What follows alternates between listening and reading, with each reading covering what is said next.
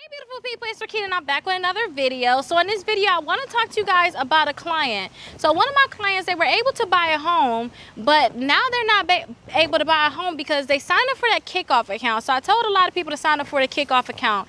It's 500 it's, it's a $500 account that they're going to report to the credit bureaus and all you have to do is spend $10. Now she did not make the payment on that account, so now she's not able to get pre-approved for her home. When I tell you that Kikoff dropped her credit scores like 80 points. It really dropped their credit scores 80 points because they marked it as late. They reported that the account was 30 days late.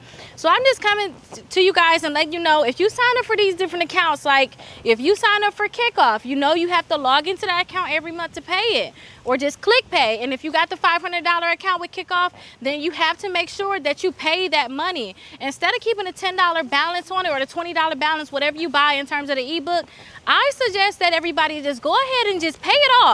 Like I just paid mine off. I told I showed you guys. I paid mine off. I suggest you pay it off because if you don't owe them any money, you can't be late. Now that just dropped her credit score so much, you guys. So now she can't even get pre-approved. So now we got to work on removing the Kikoff off her credit reports, or we need to just work on just removing the late payment. But still, who knows how much fighting they may do if it's going to take a, you know, if it's going to be easy to get a delete off the credit reports or if it's going to be hard.